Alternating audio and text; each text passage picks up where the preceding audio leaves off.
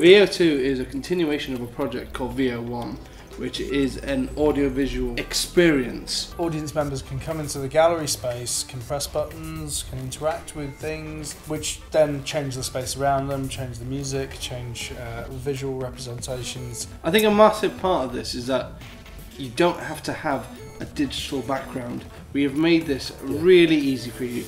Well, I think I think the important thing about this exhibition is that we're dealing with something that, to my mind, has not been done a great deal. with. You won't see anything like it anywhere else. The, the chance to engage and affect what the artist does, push all the buttons and make everything work and let us know what you think. You're going to put on a show for us.